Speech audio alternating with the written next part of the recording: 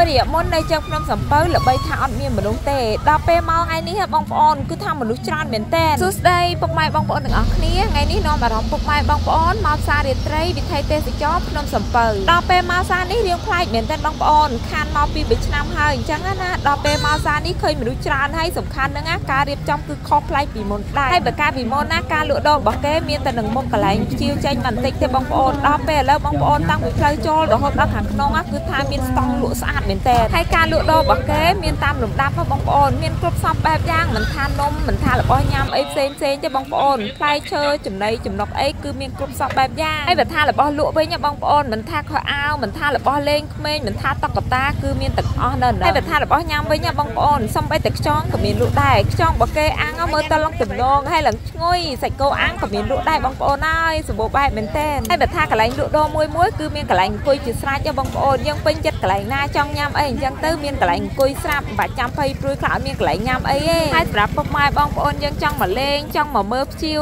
ចង់មកទិញអីវ៉ាន់ណាបងប្អូនគឺត្រូវមាច់តែម្ដងណាហ្នឹងណាបងប្អូនពេលល្ងាចល្ងាចភាកច្រើនដឹងឪពុកម៉ែបងប្អូនយើងមកច្រើនមែនទេហើយមកហ្នឹងដឹងតែមានគោលបំណងថាមកមើលភ្ជៀវហ្នឹងឯងបងប្អូនកាលពីមុនអត់ទាន់មានការរៀបចំអីច្រើនហ៎ហើយសម្ដៅមកមើលភ្ជៀវហ្នឹងអត់មានមកពីថ្ងៃបានឃើញទេណាព្រោះយើងមកពេលរៀងល្ងាចដែរអញ្ចឹងទៅប្រហែលជាម៉ោង4ម៉ោង5អីចឹងគឺចាប់ផ្ដើមចេញឯងបងប្អូនភ្ជៀវហ្នឹងគឺចេញពីលាងនេះឯងបងប្អូនឃើញអត់នេះឃើញប្រហោងហ្នឹងណាហើយភ្ជៀវហ្នឹងមិនមែនតិចតួចទេបងប្អូនមិនដឹងប៉ុន្មានម៉ឺនទេបងប្អូនអើយច្រើនមែនតែនតែអ្នកលក់ប្រាប់ថាថ្ងៃនេះឃើញភ្ជៀវចេញរៀងរារាអញ្ចឹងមកពីភ្ជៀវហ្នឹងចេញរៀងពីថ្ងៃបន្តិចដោយសារតែថ្ងៃនេះអាកាសធាតុរៀងក្តៅអញ្ចឹងទៅភ្ជៀវវាចេញពីថ្ងៃអញ្ចឹងណាបងប្អូនដល់ពេលយើងអត់ដឹងអញ្ចឹងទៅមកពេលល្ងាចអញ្ចឹងទៅភ្ជៀវវារៀងឃើញតិចចាយ៉ាងណាក៏ដោយដែរបងប្អូនអត់បញ្ហាអីទេភ្ជៀវឃើញចេញរហូតក៏មិនតិចប្រហែលអីដែរហើយសម្រាប់ពុកម៉ែបងប្អូនយើងមកឈរមើលក៏ច្រើនដែរហើយមកហ្នឹងឈរមើលគេផងរកទិញអីញ៉ាំផងអញ្ចឹងណាមើលតាមជាក់ស្ដែងឃើញពុកម៉ែបងប្អូនយើងទាំងភ្ញៀវជាតិទាំងភ្ញៀវអន្តរជាតិគឺច្រើនមែនតើហើយការមកហ្នឹងខ្ញុំអត់រំពឹងថាមានពុកម៉ែបងប្អូនយើងច្រើនដល់ថ្នាក់ហ្នឹងទេបងប្អូនខ្ញុំគិតថាល្មមមុំទេដល់ពេលមកដល់ឃើញមនុស្សច្រើនបងប្អូនរំភើបមែនតើហើយចាប់អារម្មណ៍មួយទៀតហ្នឹងគឺនំក្រៀបហ្នឹងឯងបងប្អូនមួយគេលក់តម្លៃ1000រៀលទិញ2 3អញ្ចឹងទៅដើរញ៉ាំឡើងមួយឆ្អែតឥឡូវនេះពួកខ្ញុំទាំងអស់គ្នាអត់ទាន់រកកន្លែងអង្គុយញ៉ាំឃើញទេបងប្អូនឡាយតែដើរមើលសិនអញ្ចឹងណាខ្លាចផុតពេលវេលាដល់ពេលមកដល់កន្លែងនេះរំភើបមែនតើព្រោះបានឃើញព្រះពុទ្ធរូបយ៉ាងធំធំមែនតើមើលតាមជាស្ដែងទៅបងប្អូនដែលគេឆ្លាក់រូបព្រះភ្ជាប់នឹងជើងភ្នំសំពៅតែម្ដងហើយភ្នំលបបណ្ណានៃបងប្អូនគេចេះឆ្លាក់រូបព្រះមើលទៅឡើងស្អាតគួរជាទីគោរពរបស់ពុកម៉ែបងប្អូនយើងដែលកាន់ពុទ្ធសាសនាអញ្ចឹងណាហើយមើលទៅឡើងអស្ចារ្យមិនមែនតូចតាចទេបងប្អូនគឺធំខ្លាំងមែនតើបើសិនតែយើងឈរពីខាងក្រោមទៅថតរូបគឺអត់ជាប់ស្អាតទេបើសិនតែយើងចង់ថតរូបស្អាតតើយើងមកខាងមុខឲ្យរៀងឆ្ងាយបន្តិចបងប្អូនទៅថតទៅជាប់ពុទ្ធរូបច្បាស់ហើយសម្រាប់ពុកម៉ែបងប្អូនយើងមកភាកចានដល់បានថតរូបគ្រប់គ្រប់គ្នាបងប្អូនដើម្បីទុកជាអនុស្សាវរីយ៍មកជើងភ្នំសំពៅអញ្ចឹងហើយឥឡូវនេះពួកខ្ញុំទាំងអស់គ្នារកអីញ៉ាំឲ្យបងប្អូនបងអង្គុយទល់មុខនឹងកន្លែងពុទ្ធរូបនឹងឯងដល់ពេលកំពុងកំងកំងមើលទៅរៀងទៅយូរពេកបងប្អូនកុំឲ្យខាតពេលព្រោះគ្នាថតរូបម្នាក់ម្ដងម្នាក់ម្ដងអញ្ចឹងណាមើលទៅឡើងលយអត់មានបានថតជាមួយណាទេបានថតជាមួយនឹងបងចដូនមួយនឹងឯងបងប្អូនទៅទៅប្រហែលអ្នកហ្នឹង